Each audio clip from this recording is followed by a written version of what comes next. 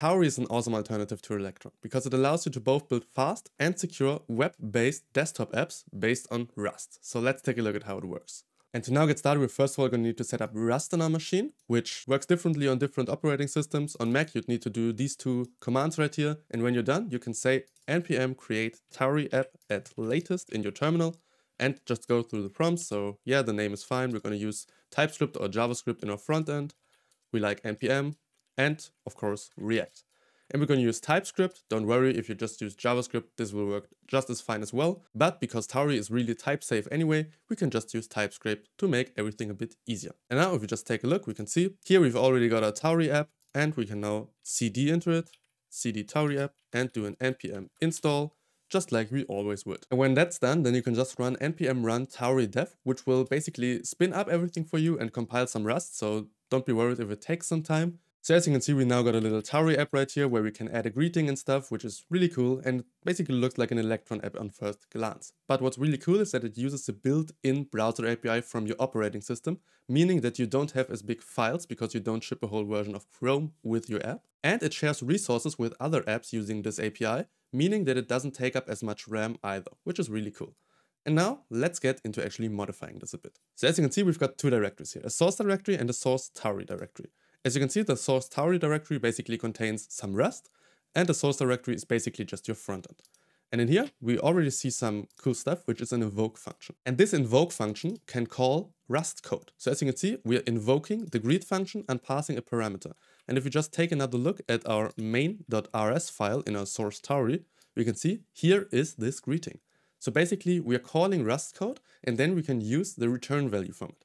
So if we were to do something like add another function called square that takes in a number. So n is an unsigned 32-bit integer, and we also return an unsigned 32-bit integer.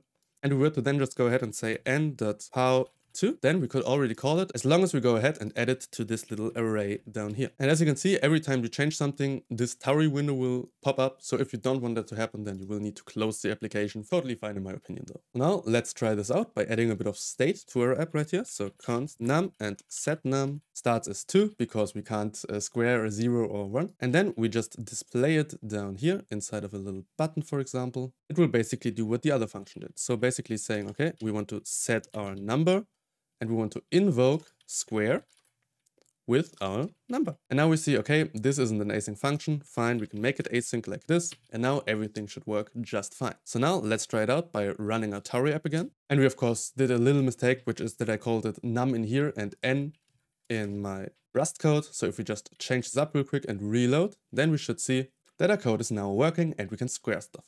But if we go too far, then we can see that it crashes because Rust doesn't handle errors the same way as TypeScript. So you will need to handle your errors if you want this to work properly.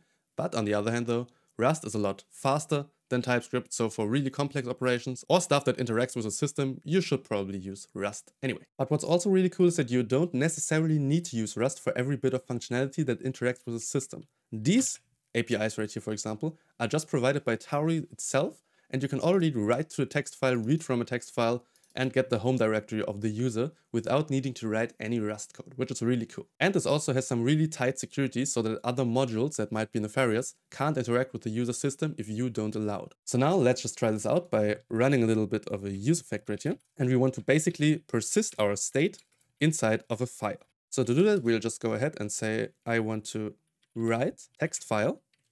Then I need to add a path and I need to add a string that I want to write. And in this case, we're just going to json.stringify an object, and that object should contain our number and our name. And now we need to get this path right here. And the issue with that is that we need the home directory. So let's do that real quick. const home equals home dir, which is an async function.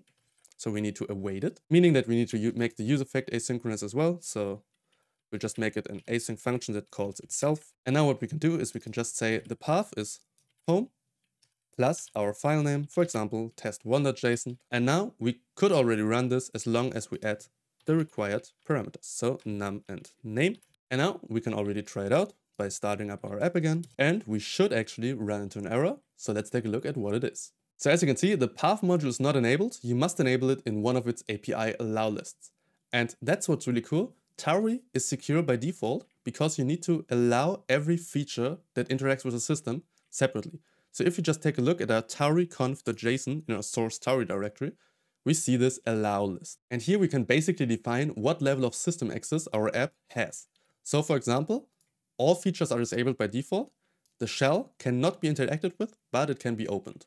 And what we now want to do is we want to say, okay, I want to have access to all parts of the path module. So I want to be able to get the home directory, the app data directory, etc. And then I want to be able to interact with the file system.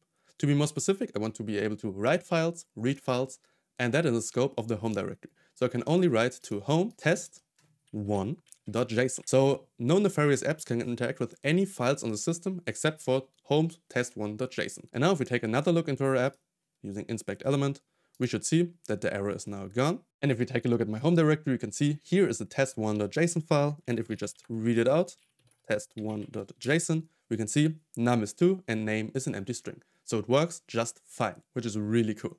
And if we now wanted to access this data initially, then that would of course work as well. We can just copy over this use effect right here.